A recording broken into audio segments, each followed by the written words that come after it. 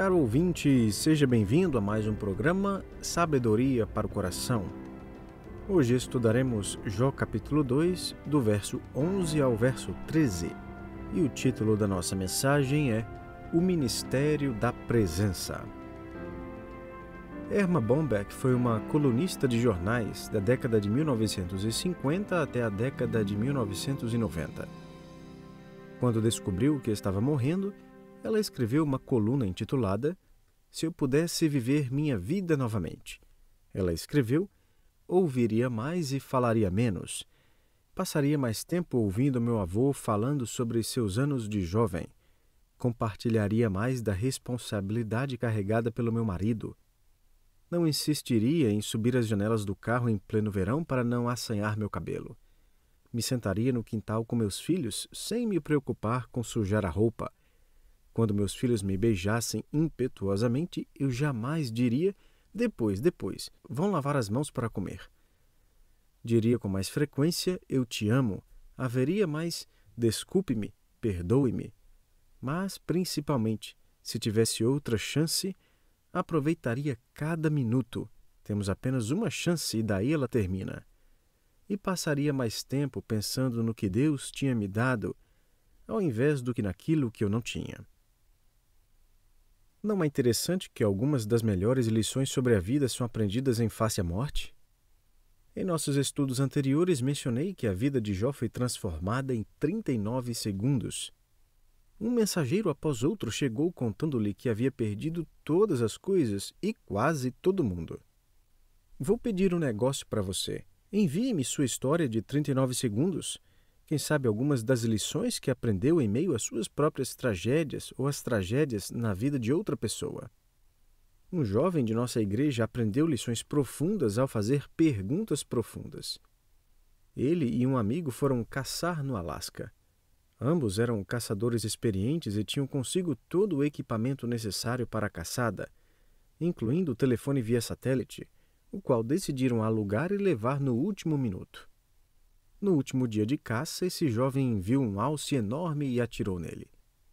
Ao invés de cair morto ou ferido no chão, o alce começou a correr na direção deles. O rapaz recarregou sua arma, atirou e daí sentiu uma forte dor. Ele olhou para baixo e percebeu que a espingarda tinha quebrado ao meio. Uma parte tinha voltado e batido contra sua cabeça, ferindo seriamente seu rosto e esmagando um de seus olhos. Ele ainda não consegue enxergar com esse olho. Após o acidente, um resgate até incrível envolvendo soldados e helicóptero, graças ao telefone via satélite, e enquanto se recuperava de uma cirurgia complicada e se perguntava se voltaria a enxergar com aquele olho, esse rapaz fez uma lista de perguntas e me enviou uma cópia dela. São perguntas que fornecem lições para a vida inteira em face ao sofrimento e à morte. O que eu tenho feito? Para onde estou indo? O que Deus deseja que eu faça? O que Deus tem reservado para mim? O que eu deveria fazer com as bênçãos de Deus? O que eu deveria fazer com as tribulações de Deus? Será que ficarei com ressentimento? No fim, esse jovem adicionou: minha única esperança é a justiça de Jesus Cristo. Eu tenho pouca força. Senhor, ajude-me, por favor. Eu faria as seguintes perguntas: Como respondemos a alguém que faz perguntas tão profundas? Como começamos a fazer parte da solução de Deus na vida de alguém cercado de tristeza? Como ministrar a alguém que recentemente foi diagnosticado com uma doença terminal e gostaria de ter outra chance na vida? Logo no início de nosso estudo, gostaria de encorajá-lo com o seguinte: todos no corpo de Cristo se qualificam como especialistas em ajudar o que sofre. Você não precisa ser um gênio com argumentos convincentes, ser bem articulado ou experiente. Você mesmo pode se envolver no que chamo de ministério da presença. Através do ministério da presença, você pode realizar um ministério tremendo aos feridos sem nem mesmo ser ordenado ao ministério pastoral. Você não precisa ser uma ferramenta extraordinária na mão de Deus. Precisa apenas estar disposto. Isso me lembra do que meus pais colocaram na minha cabeça e na cabeça dos meus irmãos quando crescíamos. A melhor habilidade é a disponibilidade. Vamos observar exatamente isso acontecendo na vida de Jó enquanto ele estava cercado por tristeza. Os últimos versos de Jó, capítulo 2, nos mostram como os conselheiros de Jó acertaram. Para começar, vamos ver quem eram os conselheiros de Jó. Lemos em Jó 2, verso 11: Ouvindo, pois, três amigos de Jó todo este mal que lhe sobreviera, chegaram cada um do seu lugar. Ele faz o Temanita, Bildade o Suíta e Zofar o Naamatita, e combinaram ir juntamente condoer-se dele e consolá-lo. Isso por si só já não é um ótimo exemplo? Esses amigos deixaram tudo de lado, entraram em contato entre si e disseram: Vamos lá ver o nosso amigo em necessidade, vamos confortá-lo. O primeiro amigo mencionado no texto é Elifaz. Ele é mencionado primeiro, mais provavelmente por ser o mais velho. Em cada um dos discursos feitos por esses três homens, e posteriormente por um quarto que se une a eles, ele faz a quem fala primeiro. Esse homem faz uma alusão a si mesmo em Jó 15 como sendo um homem idoso, já de cabelo grisalho, bem mais velho do que o pai de Jó. Se Jó tivesse uns 50 anos de idade com 10 filhos adultos, ele faz pode muito bem ter tido em torno de 70 ou 80 anos de idade aqui. Adicione a isso o fato de ele faz ser um temanita. Temã era famosa por seus homens sábios e provérbios profundos do Oriente. O profeta Jeremias escreveu em Jeremias 49:7: Acaso já não há sabedoria em Temã? Já pereceu o conselho dos sábios? Desvaneceu-se-lhe a sabedoria? Obadias 1,8 também se refere aos homens sábios de Temã. O nome Elifaz significa Deus é ouro, e é possível que ele tenha sido o cabeça de alguma região da Arábia. Rico o suficiente para poder viajar e um homem muito respeitado, Elifaz é um dos amigos de Jó. De todos os amigos, Elifaz não somente é o primeiro a falar, mas seus discursos são mais longos também. Mais adiante, em Jó 42, Deus se referirá a ele como o representante dos outros conselheiros. A partir do texto, podemos imaginar Elifaz de cabelo grisalho, um homem já experimentado na vida, rico e com dignidade, chegando no cenário do desespero do seu amigo Jó. O próximo indivíduo é Bildade. Jó 2,11 nos diz que ele era suíta. Bildade não aparece em nenhum outro lugar na Bíblia, apesar de outros documentos mencionarem Su, que ficava localizada próximo ao rio Eufrates. A região provavelmente recebeu esse nome por causa do filho mais novo de Abraão, Suá. É provável que Bildade e Suá se conheciam, e se esse foi o caso, Bildade pode ter aprendido lições incríveis sobre o Deus de Abraão da boca do filho de Abraão. O que sabemos de fato é que Bildade era amigo de Jó e isso por si só já nos diz um pouco sobre seu caráter. O terceiro e último amigo mencionado em Jó 2,11 é Zofar. O nome Zofar significa pássaro novo, e ele provavelmente era o membro mais novo do trio de amigos. Zofar veio de Naamá, local que possivelmente recebeu o nome de um dos descendentes de Caim. Muitos acreditam que a casa de Zofar ficava entre as atuais Beirute e Damasco. Lembre-se de que Jó viveu nos dias dos patriarcas e muitos deles foram contemporâneos entre si. É possível que Jó era conhecido e respeitado por todos os que seguiam o Deus dos patriarcas Abraão, Isaque e Jacó. Então os três amigos de Jó ouviram a notícia, a qual demorou um pouco para chegar até eles. Em seguida, entraram em contato uns com os outros, o que também demorou ainda mais tempo em correspondência entre si e por fim concordaram em se juntar para encontrar o amigo Jó. Um autor escreveu que se você tivesse um amigo disposto a deixar tudo de lado e ir correndo para ajudá-lo, isso já seria algo maravilhoso. Mas ter três amigos assim é inacreditável. Não fazemos ideia de quanto tempo demorou até que os três amigos de Jó o encontraram. Talvez eles foram primeiro para sua casa em busca dele quem sabe um dos servos que trabalha na propriedade desolada varrida pela tempestade aponta em direção ao lixão da cidade. Jó 2,12 sugere que alguém forneceu aos amigos de Jó informações quanto à direção onde ele se encontrava. O verso diz: Levantando eles de longe os olhos e não o reconhecendo, ergueram a voz e choraram, e cada um, rasgando o seu manto, lançava pó no ar sobre a cabeça. Talvez foi a esposa de Jó que os conduziu até onde ele estava, sentado sobre as cinzas do aterro sanitário da cidade. O texto indica que alguém teve que lhes mostrar Jó, porque ele estava irreconhecível. Veja, Lá está ele, aquele homem sentado lá. Não, não, não, não pode ser, é impossível. O verbo hebraico, no perfeito do rifil, sugere não necessariamente que esses homens duvidaram de que era Jó, mas que o homem sentado no montão de cinzas não se parecia em nada com Jó. Como este homem pode ser o mesmo homem que vimos da última vez? É verdade, o guia deve ter lhes dito ao apontar a distância. Aquele homem lá, com pele aberta e escorrendo pus. Aquele homem se coçando com cacos de cerâmica. Aquele homem gemendo em dor inexprimível, sofrendo com febre e náusea, cuja barba está toda embolada e embaraçada e suja, com olhos fundos e manchas escuras ao redor. Aquele homem, com roupas furadas e endurecidas com sangue e lama, aquele lá, é Jó, seu amigo. Os amigos de Jó reagiram de cinco formas. Vamos observá-las rapidamente. Primeiro, eles lamentaram em tristeza e choque. Lemos em Jó 2,12 que eles ergueram a voz e choraram. Segundo, eles rasgaram suas roupas. Note ainda em Jó 2,12 que cada um rasgando o seu manto.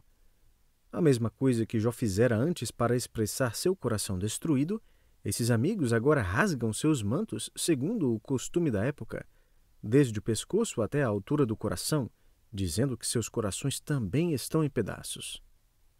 Terceiro, eles se sujaram de terra, ainda em Jó 2,12, lançava pó ao ar sobre a cabeça. Esse costume era uma forma de se identificar com Jó em sua grande tristeza. Ele não tinha como tomar banho e, portanto, estava podre. Então seus amigos se uniram a ele ao sujar seus cabelos e roupas. Em quarto lugar, eles se sentaram com ele. Agora, em Jó 2,13, lemos que eles sentaram-se com ele na terra sete dias e sete noites. Esse era o período habitual para a lamentação por um morto. Eles estão lamentando não somente a situação de Jó, mas também a morte de seus filhos. Vemos esse período de lamentação e luto em outras passagens, por exemplo, em 1 Samuel 31:13. Os homens de Jabes Gileade lamentaram a morte do rei Saul durante sete dias. E em Gênesis 50:10, José lamentou a morte de seu pai Jacó durante sete dias depois que Jacó morreu no Egito. Apesar de os sete dias de lamentação pela perda da família de Jó e de seus servos já terem acontecido alguns dias atrás, esses amigos, em grande respeito por este homem, realizam aqui, em certo sentido, outro funeral em reverência profunda à tristeza profunda de Jó. E a quinta reação deles é interessante. Eles permanecem em silêncio. Lemos em Jó 2,13 que nenhum lhe dizia palavra alguma, pois viam que a dor era muito grande. Permita-me listar para você as maneiras como os conselheiros de Jó acertaram em sua atitude. Primeiro, eles se identificaram com a sua tristeza.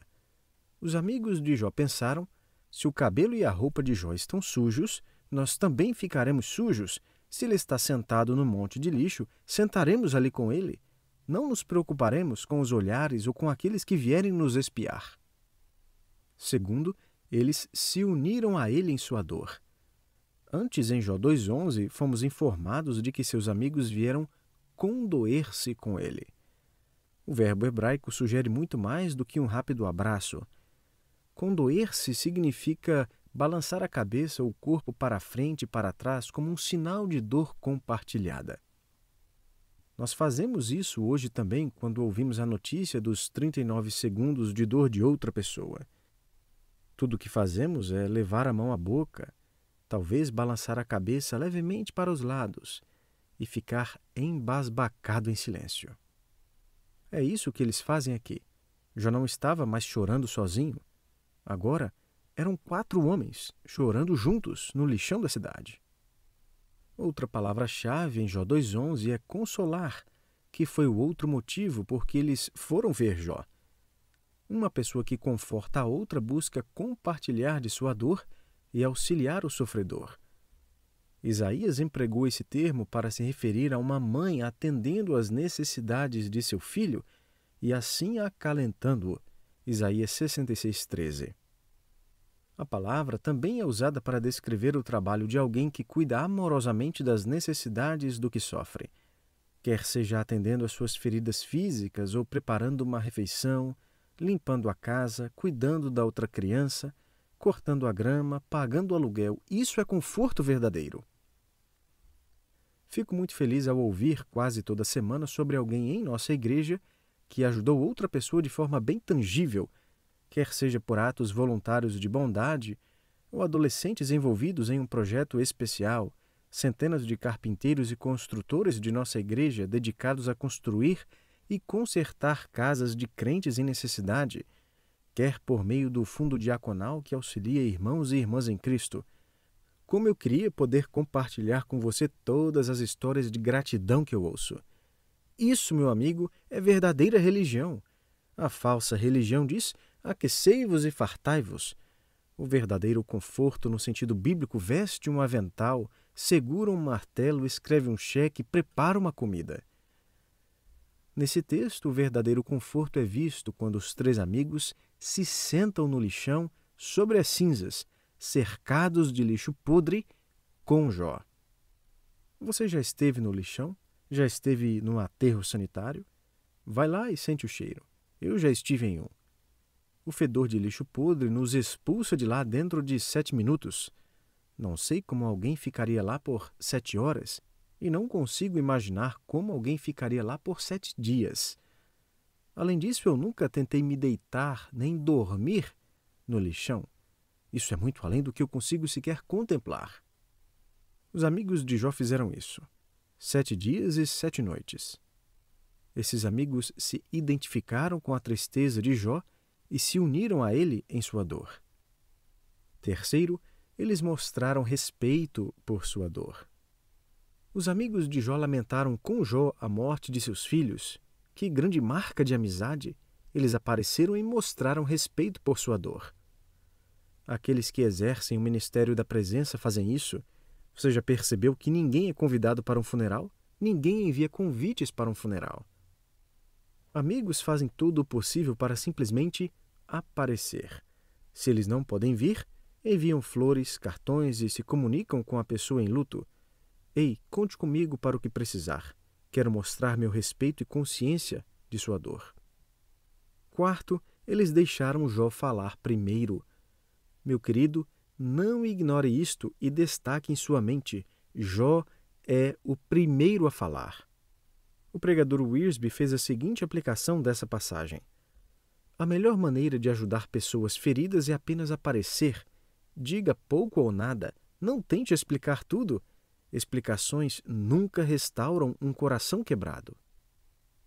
Ao fazer todas essas coisas, os amigos de Jó chegam ao quinto acerto. Eles conquistaram o direito de falar. Para exercer o ministério da presença, você não precisa ter algo já preparado de antemão você pode inspirar positivamente com seu silêncio, mas pode errar ao falar. Talvez você já tenha ouvido a frase anônima: Arrependo-me com frequência de minhas palavras, mas nunca de meu silêncio. Antes de deixarmos essa cena forte com três homens importantes, respeitados, ricos e reverenciados, sentados na poeira com Jó, seu amigo cansado, abatido e sofredor, Vamos tentar aprender algumas lições práticas sobre o ministério da presença. Esse é o ministério sem palavras. Um autor chamou esse ministério de o Santo Silêncio. Primeiro, rejeite a ideia de que citar versos da Bíblia elimina a dor. Esse é o pensamento de que a verdade não é dita se a Bíblia não é citada. Não me entenda errado aqui. A Bíblia é, sim, suficiente para as nossas necessidades mas Provérbios também fala sobre o seu uso em momento oportuno. Salomão escreveu em Provérbios 25:11, como maçãs de ouro em salvas de prata, assim é a palavra dita a seu tempo.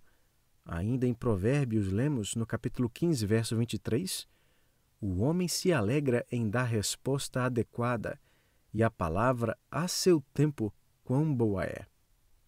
Não vamos a uma pessoa que sofre como Jó e lhe dizemos: Ei, adivinha o que eu li hoje de manhã na Bíblia? Pois é, este verso aqui é perfeito para você. Ah, também comprei esta caneca para você com um verso de um lado e uma cruz do outro. Meu amigo, a Bíblia não é um band-aid. Não saia por aí colocando seu verso preferido nas pessoas que sofrem, achando que ele, de alguma maneira, acabará com a dor. A Bíblia não é uma aspirina para seus amigos em sofrimento. Problemas físicos levam tempo para melhorar, assim também os problemas internos do coração. Eles precisam de tempo para ser restaurados. O que o sofredor precisa é da verdade da Escritura revelada na sua vida e através de sua vida, ao ministrá-lo com sua presença. Em segundo lugar, controle a tentação de dizer algo profundo. Você pode pensar que precisa sair com alguma pérola de sabedoria a fim de realmente ajudar. Pode ser tentado a pensar que tem que resumir a obra soberana de Deus em uma ou duas sentenças sábias e profundas. A verdade é que o sofrimento geralmente nos expõe ao mistério de Deus, não às explicações de Deus. Romanos 11, 33 nos diz quão insondáveis seus juízos e quão inescrutáveis seus caminhos. 1 Coríntios 2,16 diz: Pois quem conheceu a mente do Senhor que o possa instruir? E Provérbios 25,2 que a glória de Deus é encobrir as coisas. Não saímos correndo por aí tentando glorificar Deus ao explicar a questão, enquanto Deus deseja ser glorificado ao esconder e ocultar a questão. Precisamos aprender a dizer: Não sei o que está acontecendo. Deixe-me dizer o seguinte: aplicar isso como pastor é algo muito desafiador. Suponha que alguém me liga e começa a compartilhar sua história de sofrimento, e em seguida me pede uma explicação. Como será a conversa se eu disser: Olha, não faço ideia, estou completamente chocado? Você provavelmente já conhece o final do livro de Jó, mas deixe-lhe lhe lembrar de que enquanto Jó exigia uma resposta, Deus respondeu com seus atributos. Enquanto Jó queria uma explicação, Deus revelou a sua reputação. E enquanto Jó queria uma premissa por trás das ações de Deus, Deus declarou seu poder por trás das ações. Rejeite a ideia de que citar a Bíblia acabará com a tristeza e controle a tentação de dizer algo profundo. Deixe-me adicionar a esse pensamento dizendo o seguinte: Recuse a expectativa de eliminar a dor com sua sabedoria e discernimento. Se você ainda não aprendeu a essa altura, então aprenda com esta cena. Não podemos eliminar a tristeza, mas devemos compartilhar da tristeza. Ao compartilhar dela, aliviamos o fardo do sofredor.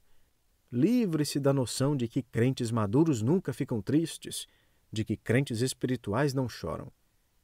Se esse fosse o caso, então Jesus Cristo foi um homem superficial. Conforme vemos em João 11:35, Jesus chorou diante do túmulo de Lázaro. Quarto, recuse a ideia de que você precisa falar a fim de poder demonstrar amor. Quando o Senhor finalmente apareceu no túmulo de Lázaro, ele poderia ter pregado um sermão sobre seu amor por Lázaro. Poderia ter deixado bem claro o quanto se importava com seu amigo. Contudo, quando a única coisa que fez foi chorar, os judeus viram e, sem ouvirem sequer uma palavra da boca de Jesus, concluíram: Vede quanto o amava. João 11:36. Você não precisa ter algo para dizer. Já viajou duas horas ou mais apenas para exercer o ministério da presença. Em seu comentário no livro de Jó, Charles Swindoll cita um livro intitulado a última coisa sobre a qual conversamos. O autor desse livro perdeu seus três filhos. O primeiro filho após uma cirurgia, quando ele tinha apenas 18 dias de vida. o segundo morreu de leucemia com a idade de 5 anos e o terceiro morreu aos 18 anos num acidente. Este homem escreveu: Eu estava sentado, despedaçado em tristeza. Alguém veio e conversou comigo sobre o agir de Deus, por que aquilo tinha acontecido e sobre a esperança além do túmulo. Esse homem falou constantemente sem parar. Disse coisas que eu já sabiam ser verdade. Eu não fui sensibilizado. Desejei apenas que ele fosse embora. E ele finalmente foi. Depois, outro veio e se sentou ao meu lado por uma hora ou mais. Me ouviu quando eu disse algo, respondeu com poucas palavras, orou rapidamente e foi embora. Aquilo sim mexeu comigo. Eu fui confortado. Não gostei quando ele foi embora.